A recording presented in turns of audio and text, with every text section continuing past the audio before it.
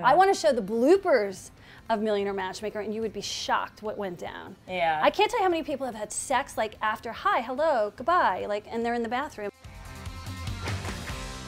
I wanted to ask you about some of your iconic at this point Mm-hmm. rules. Okay, what's my rules? Okay, two drink maximum. Okay. No sex unless monogamy. If you want to get married. If you don't want to get married, I don't really care. You can hit it till sundown. You live in a land of five, okay, girls to one guy. You live in NYC. This is not the easiest place in the world to get a guy to respect you, let alone cherish you or marry you. Right. This is tough city. It's gay men and hot girls, and there's not a straight guy in the midst. So you got to think twice before you step off the street and you know hit it, hit the sheets. I better get a vibrator. Come on, you want a rugged guy? I can already tell, look at you and tell.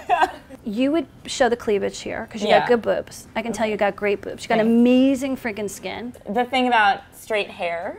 Oh, I knew you were gonna do this because you have curly hair. Now you're But I mean, I was gonna say, I obviously, knew this obviously, coming. I have a dog in this fight. If you were in, if I were going to take you to an island Mm-hmm. and you're going to wear your little sarong and you're going to let your hair go wild and with the golden tan, a little lip gloss, you know, a guy's going to want to hit that. And that sends a message to the penis, which does the picking. And then I would wear something sexy with the jeans and high heels and do like one of the three quarter twists, like red carpet twist. Uh huh. That'd be enough. I have a thing, date a pair and a spare. One, one, like I can't wait till he calls. Two, I'm not so sure he's the cusper. And three is like the friend that, you know, eh, you need a I date. I don't even have to go to a time for party. one. You work at Cosmo. What are you talking about? You should be dating up the wazoo. That's I know. That's your material. That's what people always think. It's not true.